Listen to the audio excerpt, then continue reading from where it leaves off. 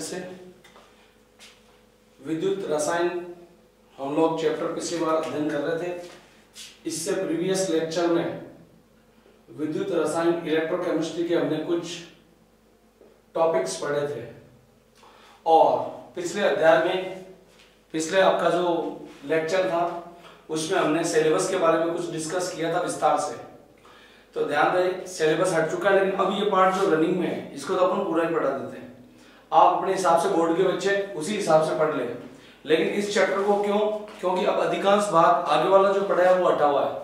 ये बात जो पूरा चल रहा है, ये पूरा का पूरा सिलेबस में है। ठीक है? तो इस चैप्टर को अपन पूरा ही पढ़ा देते हैं। आप लोगों के पास सिलेबस है, उसमें देख लीजिए, जो नहीं है उसको कट कर दें। ठीक है? इसके बाद के चैप्टर हम लोग उसी हिसाब से पढ़ेंगे जो बोर्ड के अकॉर्डिंग है। तो नेक्स्ट आगे चलिए देखो, विद्युत रसायन में, विद्युत रसायन में हमने क्या पढ़ लिया था? चालकताएँ पढ़ ली थी पिछले अध्याय में, ठीक है? और मोलर चालकता में संबंध पढ़ लिया था। अब अगली बात कर रहे हैं विद्युत अपघट्यों की चालकताएँ विद्युत अपघट्यों की, विद्युत अपघट्यों की अपघट्यों की चालकताएँ देखो, चालकता के आधार पर विद्युत अपघट्य इस तरह से हम इसको कह सकते हैं। एक विद्युत अपघट्य हमने पढ़ा था, प्रबल और दुर्बल। वो किस आधार पे था? आयनों के आधार पे था। अब हम पढ़ेंगे मोलर चालकताओं के आधार पर।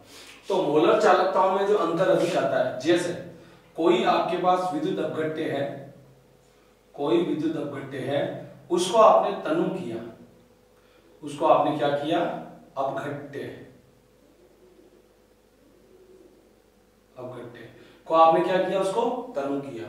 तनु करने पर उसकी लेमड़ा एम मोलर चालकता में। उसकी मोलर चालकता में क्या डिफरेंस आया? उस आधार पर विद्युत अपघट्य तो देखो, हमने एक तो जैसे हमारे पास विद्युत अपघट्य कोई केसीएल है, केसीएल। पॉइंट वन एम सांद्रता थी मेरे पास। उस पर इसकी लेमड़ा एम को देखा गया मोलर चालकता को तो उसका मान है लगभग 126.9 मान लो ठीक है? 127 के लगभग मान। लो जब इसको आपने 100 गुना तनु किया तो 100 टाइम्स जब तनु किया तो इसकी सांद्रता होगी पॉइंट ज़ीरो ज़ीरो एम ठीक है? इसमें सौ का भाग दे दिया तो इतना तनु हो गया। तनु करने पर इसकी मोलर चालकता हो गया 147 या 149 के लगभग। 147 के लगभग हो गई 126 से ऐसे, एक जैसे मेरे पास है CH3 COONA इसकी मोलर चालकता पहले पॉइंट वन पर थी, मेरे पास बहत्तर पॉइंट आठ। और जब तुमने इसको सौ गुना तनु किया तो यहाँ से पकड़ो आठ, इक्यासी पॉइंट पाँच, ये होगी तो एक प्रकार के विद्युत अपघट्य तो ये है मेरे पास, कि जब तनु करते हैं, ये बात हम भी जानते हैं। का लेमड़ा एम और इसमें संबंध क्या आपके पास, लेमड़ा बराबर याद होगा आपको केवी है। पिछले लेक्चर में पढ़ा था हमने, लेमड़ा बराबर केवी तो लेमड़ा एम समानुपाती क्या हो गया आपके पास? डायल्यूशन हो गया, तनुकरण हो गया। तनुता बढ़ने पर मोलर चालकता बढ़ती है। तो मैंने इसको सौ गुना तनु किया तो यहाँ से मोलर चालकता यहाँ पहुँच गई। ऐसे। इसको भी मैंने 100 गुना तनु किया तो यहाँ से यहाँ पहुँच गई इसी तरह से मैं एसिडिक एसिड की बात करता हूँ। CH3COOH ठीक है पॉइंट वन पर पॉइंट वन एम सांद्रता पर इसकी मोलर चालकता सपोज़ करो 5.2 या 5 है। तो जब इसको आपने 100 गुना तनु किया तो इसका हो जाएगा आपके पास 49.2 लगभग 50 अंतर देखो कितना ज़्यादा ठीक है? इसी तरह से कोई आप दूसरा विद्युत अपघट्य ले सकते हो, एक NH4OH ले लो एसिड ले लिया, एक बेस ले लो NH4OH के लगभग ले लो। पॉइंट वन एम पर इसकी सांद्रता देखी आपने तो मोलर चालकता 3.4 जब 100 गुना तनु किया आपने तो इसकी होगी आपके पास 36 अब चेक करो 5 से 50 लगभग 10 गुना हो गया। 34 से 36 3.4 सॉरी 3.4 से 36 लगभग 10 गुना बढ़ गई। लेकिन 126 से डबल ही नहीं हुई। 126 का मतलब दो सौ बावन होता है। तो क्या कह सकते हैं आप? मोलर चालकता के आधार पर भी विद्युत अपघट्य दो प्रकार के जिनकी चालकताओं में तनुकरण के पश्चात क्या होता है? डिफरेंस बहुत कम होता है। वो होते हैं आपके पास प्रबल विद्युत अपघट्य प्रबल विद्युत अपघट्य और जिनकी चालकताओं में अंतर ज़्यादा होता है, वो क्या होते हैं आपके पास? दुर्बल विद्युत अपघट्य जिनकी चालकताओं में अंतर अधिक आता है, ठीक है? एकदम, तनुकरण पढ़ने पर फटाफट से उनकी मोलर चालकता बढ़ती हो, वो तो क्या हो गए? दुर्बल विद्युत अपघट्य ये हो गया आपके पास दुर्बल विद्युत अपघट्य दुर्बल। और जिनकी चालकताओं में अंतर कम आता है, वो क्या हो गया? प्रबल विद्युत अपघट्य ये हो गया आपके पास चालकताओं के आधार पर विद्युत अपघट्य उसके बाद आता है कोलराउस का अगला, वेरी वेरी मोस्ट इस साल बोर्ड में 100 परसेंट उम्मीद है इससे। नेक्स्ट कोलराउस का नियम। कोलराउस का नियम। तो देखो कोलराउस का नियम क्या होता है आपके पास? कोलराउस का नियम, पहली बात तो याद रखना डायरेक्ट प्रबल विद्युत अपघट्यों पर लगता है। दुर्बल पर सीधा नहीं लगेगा। ठीक है? कारण, दुर्बल के जो आपके पास आयन है, उनको कैलकुलेट नहीं कर सकते, वो फटाफट टूटते चले जाएँगे। बल्कि प्रबल पर ये सीधा लगाया जा सकता है। तो कहते किसे पहले तो वो देखो जैसे आपके पास लेमड़ा एम अनंत पर किसके लिए? NaCl के लिए आपको निकालना है। तो मैं इसको लिख सकता हूँ। लेमड़ा एम अनंत पर इसके धनायनों की मोलर चालकता, व इसके ऋणायनों की मोलर चालकता का योग। क्या कहलाता है आपके पास? इसकी कुल मोलर चालकता कहलाती है, जिसे हम कोलराउस का नियम कहते हैं। तो क्या कहोगे? अनंत तनुता अब अनंत को आप ज़ीरो भी लिख सकते हो और अनंत ऐसे भी लिखा जा सकता है। अनंत तनुता पर किसी विद्युत अपघट्य के, अनंत तनुता पर किसी विद्युत अपघट्य की मोलर चालकता का मान, उसके धनायनों व ऋणायनों की मोलर चालकता के योग के बराबर होता है, जिसे हम क्या कहते हैं? कोलराउस का नियम कहते हैं। ध्यान रहे, अनंत तनुता पर किसी विद्युत अपघट्य की मोलर चालकता, उसके धनायनों व ऋणायनों की अनंत तनुता पर मोलर चालकता के योगफल के बराबर होती है, जिसे हम क्या कहते हैं? कोलराउस का नियम कहते हैं। अब कोलराउस ने क्या किया? अपनी इस थ्योरी को समझने के लिए, अपनी एक समीकरण दी, जो थी आपके पास ये लेमड़ा एम बराबर lambda M minus B root C तो लेमड़ा एम यहाँ आपके पास किस पर? सी सांद्रता पर, और यहाँ हो गया आपके पास अनंत तनुता पर। ठीक है? तो एक तो है आपके पास अनंत तनुता पर, और एक किस पर है आपके पास? सी सांद्रता पर। तो लेमड़ा एम बराबर लेमड़ा एम सी सांद्रता अनंत तनुता माइनस बी रूट सी जहाँ सी ये क्या आपके पास सांद्रता है? फिर उन्होंने क्या किया? ग्राफ खींचा किस किस के बीच? एक तो लेमड़ा एम के बीच और एक किसके बीच? सांद्रता के बीच। इसमें और इसमें ग्राफ खींचा यहाँ जाओगे तो अनंत आपको मिल ही जाएगा। अब, इस ग्राफ में इन्होंने क्या देखा? अलग अलग विद्युत अपघट्यों को सिलेक्ट किया। तो कुछ विद्युत अपघट्य डायरेक्ट ऐसा डायरेक्ट अपना ग्राफ प्रदर्शित करने लगे, ऐसे सीधे और कुछ विद्युत अपघट्य अपने ग्राफों को ऐसे धीरे धीरे ठेठ नीचे तक आकर प्रदर्शित करने लगे। ये जो प्रदर्शित कर रहे थे, ये थे प्रबल विद्युत अपघट्य प्रबल विद्युत अपघट्य और ये जो प्रदर्शित कर रहे थे, ये थे दुर्बल विद्युत अपघट्य जैसे केसीएल हो गया, जैसे HNO3 हो गया, जैसे प्रबल अम्ल, प्रबल सार ले लो KOH हो गया। ये जैसे एसिडिक एसिड हो गया CH3COOH और NH4OH हो गया। ठीक है? तो आप क्या कहोगे? कोलराउस ने कोलराउस के नियम को समझने के लिए कोलराउस ने क्या किया? अपनी एक गणितीय समीकरण दी, या एक समीकरण दी, जो थी लेमडा एम सी पर बराबर। लेमडा एम अनंत पर minus B root C B एक स्थिरांक है, जो प्रकृति पर निर्भर करता है, पर ऐसा उसने बताया नहीं। नेक्स्ट और सी क्या आपके पास सांद्रता? वो ज़्यादा स्पष्टीकरण नहीं दे पाया इस बात का। इसलिए इस समीकरण का कोई थियोरटिकल एविडेंस नहीं था। कोई आपके पास सैद्धांतिक क्या नहीं था? इसका मतलब यूँ कह सकते हो आप एविडेंस मतलब प्रूफ ठीक है? इसका कोई सैद्धांतिक प्रूफ नहीं था प्रमाणीकृत नहीं था और प्रमाणीकृत नहीं होने से, इसके बाद एक साइंटिस्ट है जिसका नाम था ऑन से गर उसने अपनी समीकरण दी वो थोड़ी देर बाद बात करेंगे अपन। लेकिन कोलराउस के नियम, कोलराउस ने जो ये समीकरण दी, इस आधार पर इसने ग्राफ बनाया, जिसमें इधर लिखी इसने मोलर चालकता, इधर लिखी सांद्रता। और क्या बताया? कि जो ग्राफ में तेज़ी से खत्म हो गए जिनकी सीधी रेखाएँ प्राप्त होती है, वो हो गए प्रबल, और जिनकी अरेखित प्राप्त होती है, वो कौन से हो गए? दुर्बल। नेक्स्ट इसके बाद, ये जो समीकरण थी भैया, इस समीकरण का कोई सैद्धांतिक क्या नहीं था आपके पास प्रूवमेंट नहीं था। इसका कोई सैद्धांतिक प्रमाण नहीं था। और प्रमाण नहीं होने से किसे? ऑन से घर को। ऑन से घर को। एक नई समीकरण बनानी पड़ी, जो निम्न थी। वो देखिए, लेबड़ा एम सी पर इक्वल्स टू यहाँ पर लेमड़ा एम अनंत पर माइनस, इन्होंने बी की जगह स्थिरांकों का मान दिया, बयासी पॉइंट अड़तालीस अपॉन डी टी। ठीक है? की पावर एक बटा दो एन माइनस। ठीक है? फिर कहा उन्होंने 8.20 इंटू टेन की पावर फाइव अपॉन डी ठीक है? सॉरी, प्लस यहाँ। प्लस और यहाँ लग गया आपके पास फिर लेमड़ा एम, ब्रैकेट खत्म और ब्रैकेट के बाहर हो गया रूट सी जिसे किससे हम डिनोट कर सकते हैं? लेमड़ा एम सी पर बराबर। लेमड़ा एम अनंत पर माइनस ये हो गया आपके पास क्या? ए प्लस बी पहले केवल बी स्थिरांक था, अब हो गया आपके पास क्या? ए प्लस बी और फिर लेमड़ा एम ब्रैकेट बंद और आ गया रूट सी इनके बीच ग्राफ की चर्या। इस समीकरण को बोलते हैं आंशिक की समीकरण। डायरेक्ट भी पूछ सकता है यहाँ पर आपके पास। यहाँ डी टी एक बटा दो है और यहाँ डी टी आपके पास तीन बटा दो ठीक है? तो क्या समीकरण होगी? लेमड़ा एम सी पर बराबर। लेमड़ा एम अनंत पर माइनस। बयासी पॉइंट अड़तालीस। डी टी डी है पराविद्युतांक टी तो ताप होगा आपके पास। वन बाई टू और एन मतलब शांता। प्लस आठ पॉइंट दो ज़ीरो गुना दस की घात पाँच। फिर डी टी की power three by two lambda M और रूट सी यह कहलाती है ऑन से घर की समीकरण, जो उस समीकरण से अच्छी प्राप्त हुई। और इस ग्राफ बनाने में उसमें हेल्प तो इन दोनों समीकरणों के आधार पर जब यह समीकरण प्राप्त होगी तो कोलराउस ने अपना ग्राफ बनाकर निम्न निष्कर्ष प्राप्त किए। उसमें पहला निष्कर्ष क्या था? ऐसे विद्युत अपघट्टे जो सीधे टूट जाते हैं, जो सीधी रेखाओं द्वारा प्राप्त किए जाते हैं, वो होते हैं विद्युत अपघट्टे। जो आपके पास अरेखित रेखाओं में प्राप्त होंगे, वो होंगे दुर्बल विद्युत अपघट्टे।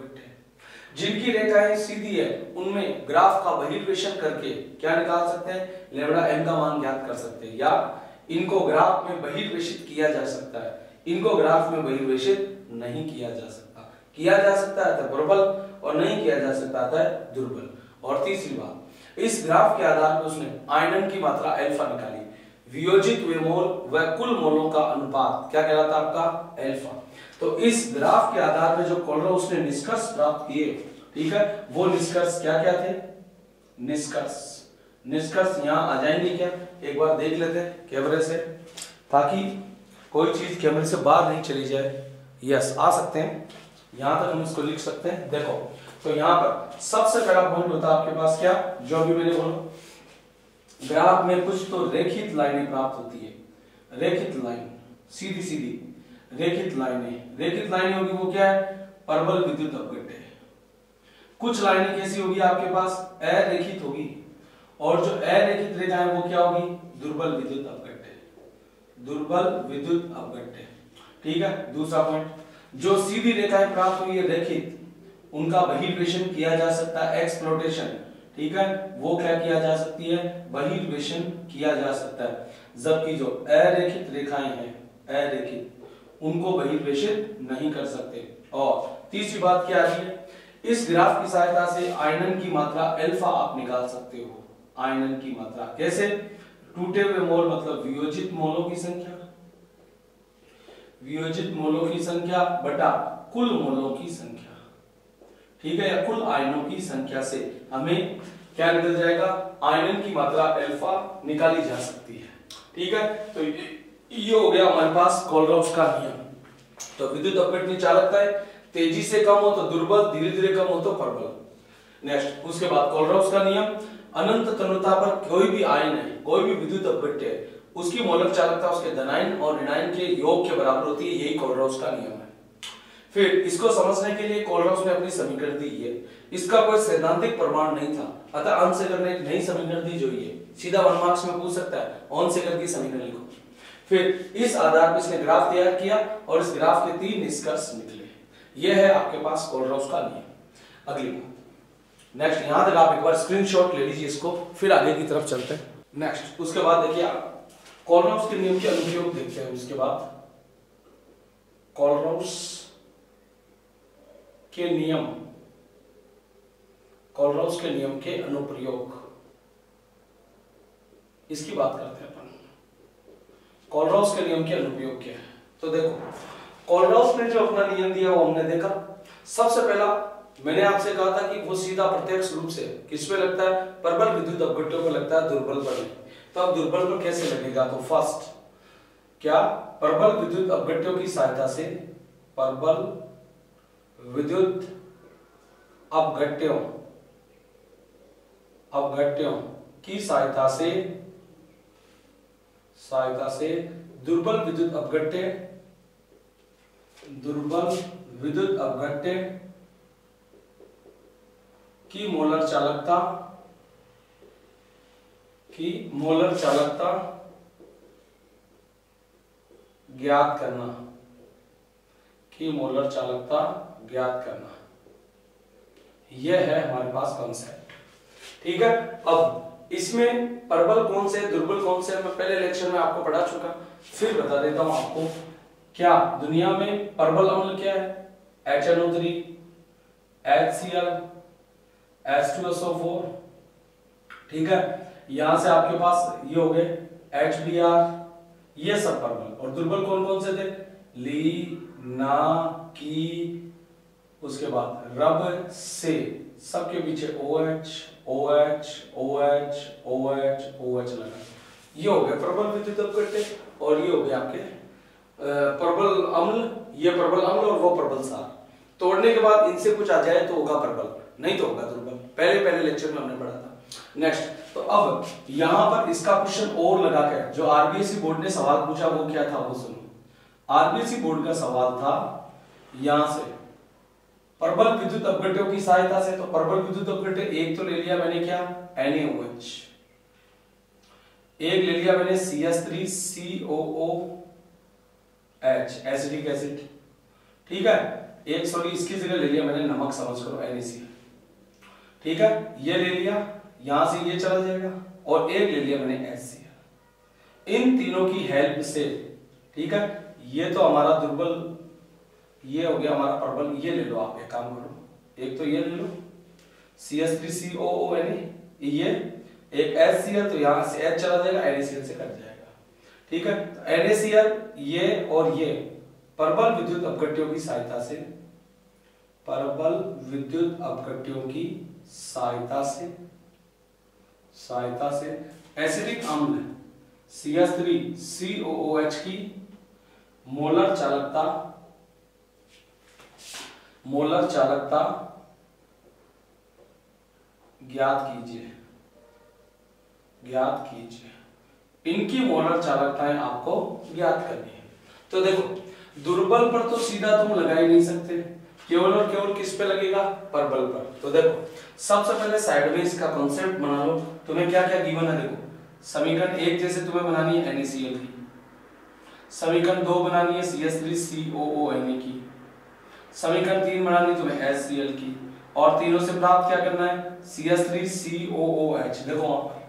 तो सी एस थ्री सी ओ तो यहाँ से आ गया। ये तो आ गया यहाँ से। एच आ गया इससे। तो ये दोनों जोड़ दो, इसको माइनस कर दो।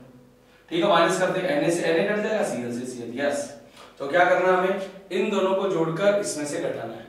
ठीक है?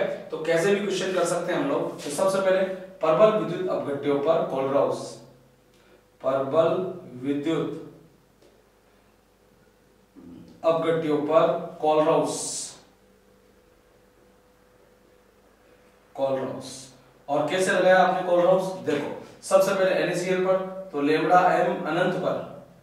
NaCl equals to lambda m अनंत पर क्या लग जाएगा?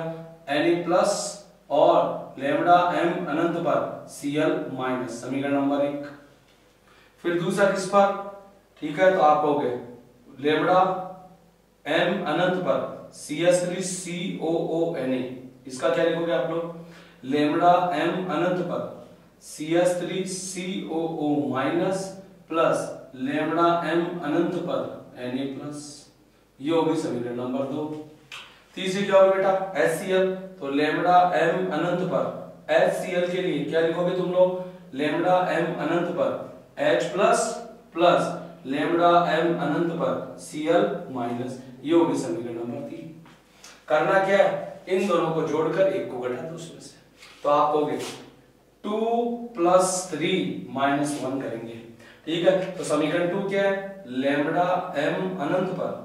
C S three C O O N E plus. समीकरण तीन क्या है? लेमडा एम अनंत पर। H C L minus. समीकरण एक क्या है? लेमडा एम अनंत पर। एन ए सी सभी के मान रख। दो इसका मान रखा तो आ गया।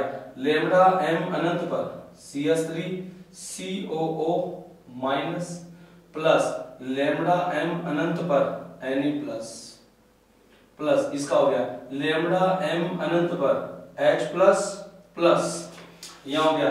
लेमडा एम अनंत पर सी एल माइनस माइनस पूरे को ब्रैकेट में लिख दो। तो लेमडा एम अनंत पर, क्या हो गया तुम्हारे पास? N A plus plus lambda M अनंत पर। क्या हो गया? सी एल माइनस अब इस ब्रैकेट को खोल दो और खोल के लिखो उधर।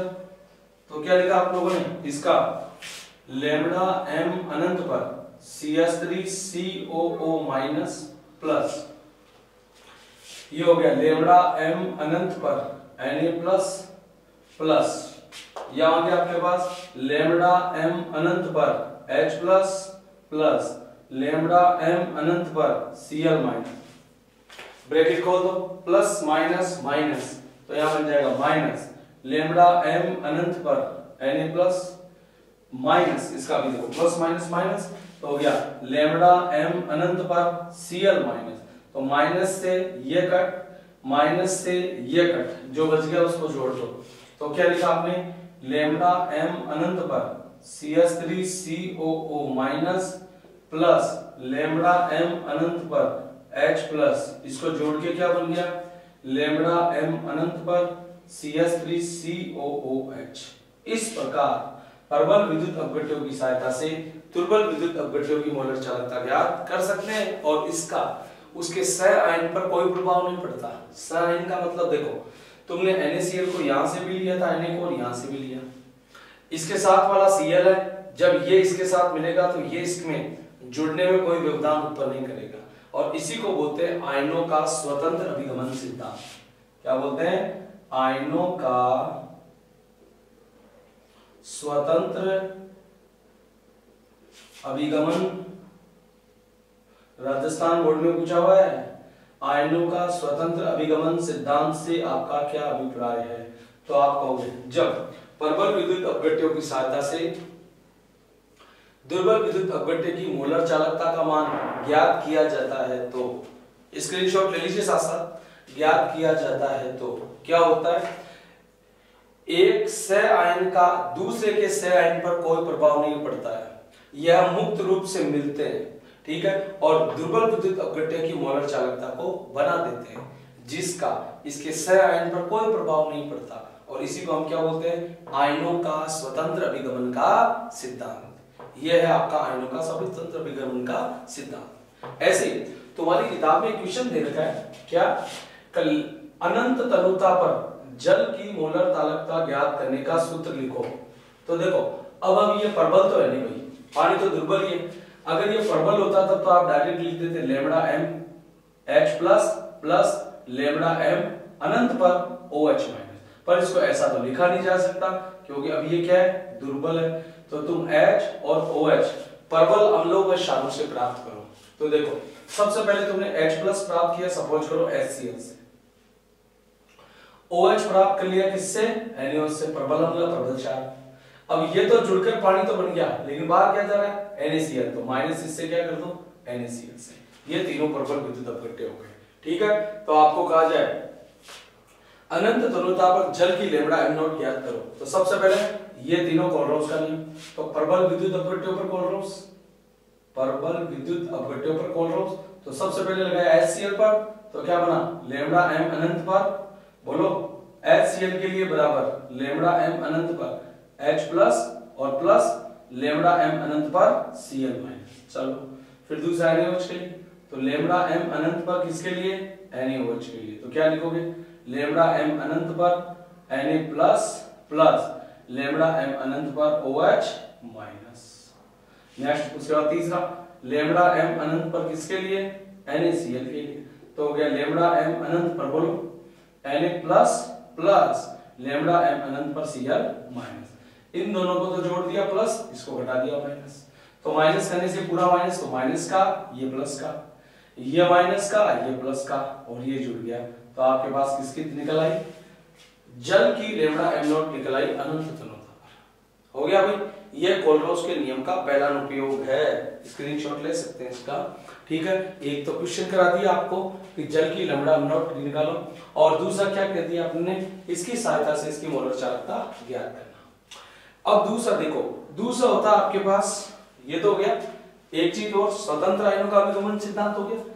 ठीक है? जब विद्युत अपघट्यों को जुड़ना होगा तो वो जुड़ेंगे। एक आयन का दूसरे आयन पर कोई फ़र्क नहीं पड़ता हो इसी को अपन क्या बोलते हैं? आयनों का स्वतंत्र अभिगमन का सिद्धांत। एक अनुपयोग होता है ये आपका दो नंबर में अनुपयोग लेना चाहूँ। इसमें दो आगे वैसे ये दो। तीसरा में लेना चाहूँ। तो एक अनुपयोग होगा आपके पास इसके ट्रांसपोर्ट नंबर द्वारा। ठीक है? मोलर चालकता का मान ज्ञात करना है। अभिगमनांकों द्वारा। अभिगमनांकों। अभिगमनांकों द्वारा। तो देखो, पहले तो अभिगमनांक होते क्या है? अभिगमनांक का मतलब है, किसी एक की मोलर चालकता बटा कुल मोलर चालकता, किसी एक आयन की मोलर चालकता। तो देखो, अभिगमनांक से मतलब होता है एन एक एनाइन के लिए और एक केटाइन के लिए। मतलब ट्रांसपोर्टर ऑफ़ एनाइन मतलब धनायन के लिए। नेक्स्ट ट्रांसपोर्टर ऑफ़ केटाइन मतलब रिनाइन के लिए। ठीक है? एनाइन एनाइन सॉरी ये रिनाइन के लिए। एनाइन का मतलब रिनाइन और केटाइन का मतलब धनायन के लिए। क्या होगा आपका? ये होगा, जैसे तुम मोल में पढ़ते हो, खुद के मोल जो बेटा कुल मोल। तो यहाँ पर भी ऐसे होगा। एक खुद की आयन की मोलर चालकता मतलब ऋणायन की। तो लेमड़ा एम अनंत पर इसकी ऋणायन की अपॉन लेमड़ा एम अनंत पर धनाइन की प्लस रेमड़ा एम अनंत पर किसकी? ऋणायन की। तो मींस खुद की मोलर चालकता बटा कुल मोलर चालकता का अनुपात क्या कहलाता है? ऋणायन का अभिगमनांक। ऐसे धनायन का अभिगमनांक करना है तो लेमड़ा एम ऑफ़ इसका अनंत तनुता पर। ठीक है, ये तो किसका आ गया? एनाइन का आ गया तो आप कर दो ए और केटाइन का आ गया तो सी अपॉन लेमड़ा एम अनंत पर। क्या? धनाइन की प्लस लेमड़ा एम अनंत पर ऋणाइन की एनाइन की। अब मुझे क्या निकालना भाई? केवल मोलर चालकता ज्ञात करनी है तो कर लो। मोलर चालकता किसकी? ऋणाइन की या धनाइन की, किसी की भी करनी हो। तो उसके ट्रांसपोर्ट नंबर से एन ए या फिर सी से मतलब अभिगमनांक से। अभिगमनांक से क्या कर दो आप? कुल मोलर चालकता को गुना कर दो। तो यहाँ पर क्या लिखा हुआ है? लेमड़ा केटाइन की प्लस लेमड़ा एनाइन की। तो कुल मोलर चालकता से गुना कर दो आप इसको। तो क्या निकल जाएगा? तुम्हें किसी एक आयन की मोलर चालकता निकल आएगी। तो क्या क्या देखा आपने? कोलराउस के नियम के उपयोग प्रबल विद्युत अपघट्यों की सहायता से दुर्बल का निकाल लिया। फिर उसी से एक नियम पैदा हुआ, अभिगमन का सिद्धांत। स्वतंत्र आयनों का अभिगमन सिद्धांत। उसके बाद अभिगमनांक क्या होता है? खुद के एक आयन की मोलर चालकता बटा कुल का अनुपात। क्या कहलाता? है अभिगमनांक। और अभिगमनांक हमें बताओ तो हम प्रत्येक आयन की मोलर चालकता ज्ञात कर सकते हैं। और एक क्या पता है आपको? चौथा। चौथा आपको पता है, इसमें एल्फा ज्ञात करना है, आयनन की मात्रा एल्फा आयनन की मात्रा। और चौथा उसके बाद, चौथा अनुप्रयोग होता है, क्या निकालना के ए ज्ञात करना है alpha square C upon one minus alpha से। ठीक है? तो आयनन की मात्रा तो निकल जाएगी। कैसे निकल जाएगी? जो वियोजित हुए आयन बटा कुल आयनों की संख्या से एल्फा निकल आता है। उसके बाद वियोजन स्थिरांक निकल आता है जब एल्फा से सी सांद्रता होती है। क्या? Alpha square C upon one minus alpha ये हो गया आपके पास क्या? कोलराउस के नियम। कोलराउस के नियम के अनुप्रयोग। सभी का एक बार देख लें स्क्रीनशॉट खींच लें, यही तक करते हैं। नेक्स्ट अगली क्लास में किया जाएगा। धन्यवाद।